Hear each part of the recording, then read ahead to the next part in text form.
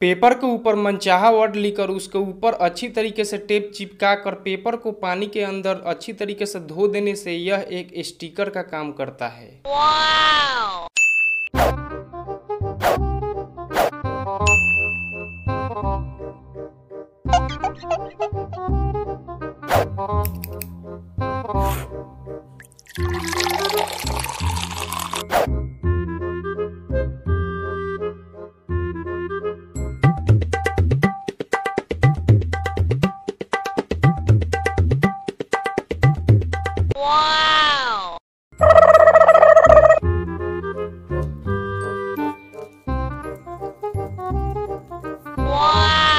आप देख सकते हैं ट्रिक सच में काम कर रहा है, इसलिए एक्सपेरिमेंट सक्सेस वीडियो पसंद आया तो वीडियो को लाइक करो और चैनल को सब्सक्राइब करो ऐसे और मज़ेदार वीडियो देखने के लिए।